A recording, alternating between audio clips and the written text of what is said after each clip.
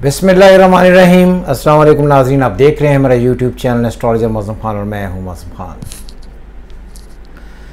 आज मैं सबसे पहले तो उन तमाम लोगों को जो पीटीआई से मुंसलिक हैं, उन सबको मुबारकबाद देना चाहता हूँ कि आज इमरान खान साहब जो हैं, वो वज़ी अजम पाकिस्तान का हलफ उठाएँगे। और ये आपके लिए सबसे ज़्यादा खुशी की बात इस वजह से है कि जो आपके सारे एस्ट्रोलॉजर्स हैं, वो यही इसी बात पर ही बहुत टिके हुए थे। तो आप सबको उनकी जो रीडिंग्स हैं, वो मुबारक हों।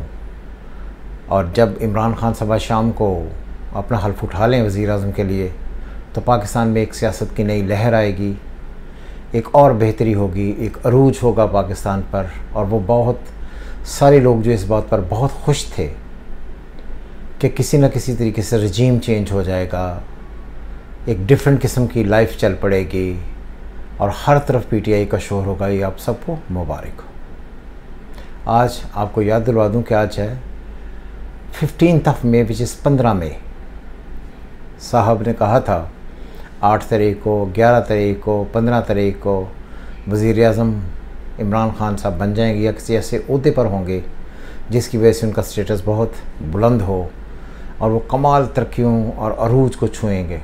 कुछ आपके स्टॉलर्स ये भी कहते थे कि ऐसा तारीख़ी इस्तबाल होगा जो सारी ज़िंदगी आप लोगों को याद रहेगा। वो भी आपने देखा कैसा तारीख़ी इस्तबाल हुआ और फिर आपने ये भी देखा कि आज वज़ी पाकिस्तान इमरान खान बन गए।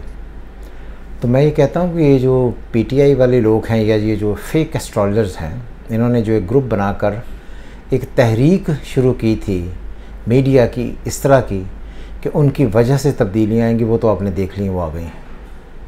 अब आप ये ख़ुद फ़ैसला करेंगे कि जो मैंने कहा था कि मुझे अगर ये इमरान खान साहब पंद्रह तारीख़ तक वज़ी अजम बन गए तो मैं अपनी एस्ट्रोलॉजी छोड़ दूँगा।